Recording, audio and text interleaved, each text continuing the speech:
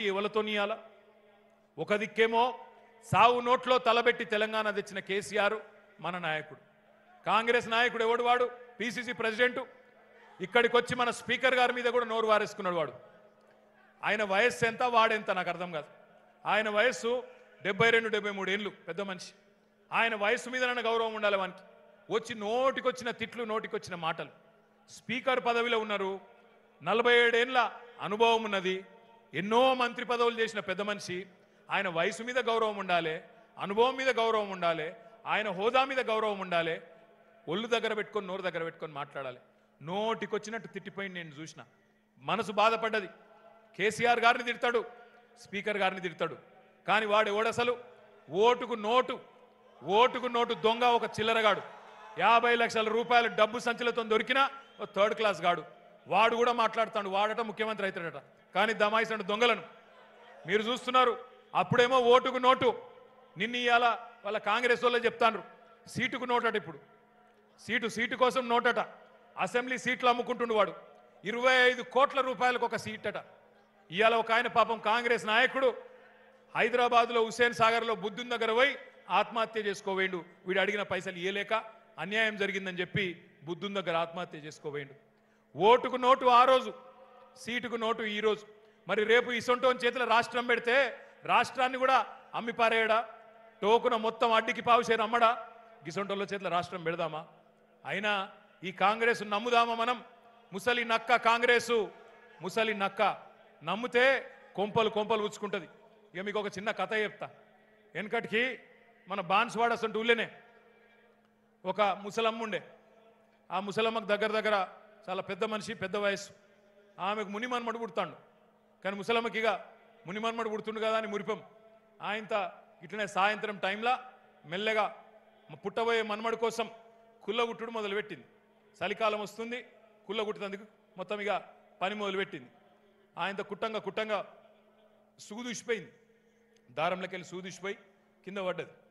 బాగాసేపు దేవులాడింది దొరుకుతలేదు. ఇక అటు చూసింది ఇటు చూసింది ఇక లాభం లేదని చెప్పి ఆ గోడ మీద చూసింది.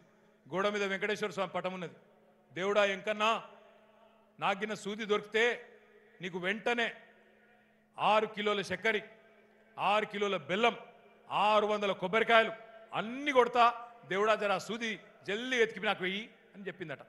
మొక్కింది. మొక్కగా లోపలికి వెళ్ళి కోడలమ్మూరికి వచ్చింది. అత్తానికి ఏమైనా పిచ్చిలేసినాదే? ఎవడన్నా ఆరు పైసల సూది కోసం ఆరు కిలోల చక్కెర ఆరు కిలోల బెల్లం ఆరు వందల కొబ్బరికాయలు ఎవడన్నా కొడతాడా? పిచ్చిలేసిందా? అన్నదట. అంటే అత్త ఏమన్నదట తెలుసా? ముందు సూదైతే అయితే రాదే. తర్వాత ఎంకన్నా వస్తాడా? నన్ను పట్టుకుంటాడా? నేను బెల్లం ఇచ్చేది ఉన్నదా చక్కెర ఇచ్చేది ఉన్నదా కొబ్బరికాయలు కొట్టేది ఉన్నదా అన్నదట. అర్థమైంది నేను ఎవరి గురించి చెప్తున్నాను? మీ బాన్స్వాడోళ్ళు హుషారోళ్ళు అనుకుంటున్నా మరి నేనైతే. హుషారోళ్ళు అయితే మోసాన్ని మోసంతో జయించాలే. ఇవాళ అరిచేతిలో స్వర్గం చూపెడుతున్నారు కొందరు. అరిచేతిలో స్వర్గం. అధికారంలో ఉన్నప్పుడేమో రెండు వందలు దాటి పింఛన్ ఇయ్యలే. ఇవాళ నాలుగు వేలు ఇస్తాం నలభై వేలు ఇస్తామని నరుకుతున్నారు నెత్తివాంది కాదు కత్తివాంది కాదు. ఎటు పడతాడు గీకచ్చు. ఏం పోయింది? నెత్తివాంది కాదు కత్తివాంది కాదు. ఎటు పడతాడు నరకచ్చు ఎటు పడతాడు గీకచ్చు. అయినా మా అక్కలను అడుగుతున్నా నేను. మా చెల్లెలను అడుగుతా ఉన్నా. అమ్మకు అన్నం పెట్టినోడు చిన్నమ్మకు బంగారు గాజులు చేయిస్తాడా? అమ్మకు అన్నం పెట్టినోడు చిన్నమ్మకు బంగారు గాజులు చేయిస్తాడంటే నమ్ముదామా? కూట్ల రాయి తీయనోడు ఏట్ల రాయి తీస్తాడా? మరి అధికారంలో ఉన్నప్పుడు రెండు వందలు ఇచ్చినోడు ఇప్పుడు నాలుగు వేలు ఇస్తా నలభై వేలు ఇస్తా అంటే నమ్ముదామా? నమ్మి మోసపోదామా? ఆలోచించుండ్రి. ఆగం కాకండి. మళ్ళా మీకు మేలు చేసేది వాళ్ళకంటే ఎక్కువ చేసేది ఖచ్చితంగా మన ప్రభుత్వమే మన మేనిఫెస్టో కూడా వస్తుంది. మన మేనిఫెస్టో వాళ్ళ మేనిఫెస్టోకు తాత లెక్కుంటుంది పేదలందరినీ కడుపులో పెట్టుకొని చూసుకుంటుందని చెప్పి కూడా నేను విజ్ఞప్తి చేస్తా ఉన్నా. భయపడకండి. వాడేవడో ఏమో చెప్పంగానే ఏమో అయిపోతుంది అని ఆందోళన పడకండి. ఇక ఇంకొక పార్టీ ఉన్నది బీజేపీ. ఇవాళ గురించి ఎంత తక్కువ చెప్పుకుంటుందో మంచిది కానీ ఒకటి మాత్రం చెప్పవలసిన మాట నా మీద ఉన్నది. ఈ మధ్యకాలంలో గమ్మత్ జరుగుతుంది. కాంగ్రెస్ బీజేపీ ఒకటైతున్నాయి కొన్ని కొన్ని దగ్గరలో. మీరు చూసిండ్రు నిజామాబాద్ ఎలక్షన్లో పోయినసారి. కరీంనగర్ పార్లమెంట్ ఎలక్షన్లో నిజామాబాద్ ఎలక్షన్లో మంచిగా అదల్ బదల్ ఓట్లు చేసుకొని బ్రహ్మాండంగా ఎక్కడికక్కడ ఓటు ట్రాన్స్ఫర్ చేసుకొని బాగానే ఉన్నారు. ఇంకొకటి కూడా జరిగింది ఈ మధ్యన. ఇప్పుడు పిసిసి అధ్యక్షుడు ఉన్నాడు రేవంత్ రెడ్డి. ఆయన ఎవరో కాదు మీకు తెలుసో తెలియదో. ఆయన ఒక ఆర్ఎస్ఎస్ మనిషి. రాష్ట్రీయ స్వయం సింగ్ స్వయం సేవక్ మనిషి ఆయన సంఘు మనిషి. సంఘు పరివార్ మనిషి. బీజేపీ యొక్క అస్సలు సిసలైన అతివాద సంస్థ ఏదైతే ఉంటుందో ఆర్ఎస్ఎస్ అని దాని మనిషి రేవంత్ రెడ్డి. ఇది నేను చెప్తలేను. ఓ కెప్టెన్ అమరేందర్ సింగ్ అని పెద్ద మనిషి. పంజాబ్ మాజీ ముఖ్యమంత్రి. కాంగ్రెస్ మాజీ ముఖ్యమంత్రి. కాంగ్రెస్ పార్టీ ఆయన. ఆయన ఉత్తరం రాసిండు సోనియా గాంధీకి.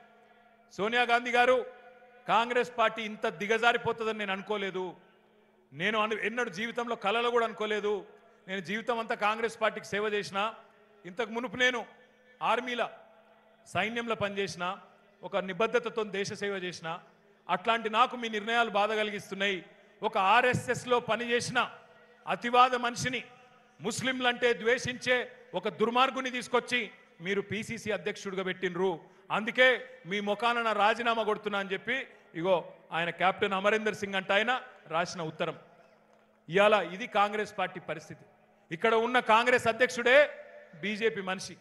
గాంధీ భవన్లోనే గాడ్సే ఉన్నాడు. గాడ్సే ఆర్ఎస్ఎస్ వాడు మీకు ఎరకనో ఎరకలేదు. గాంధీని చంపిన గాడ్సే ఆర్ఎస్ఎస్ వాడు.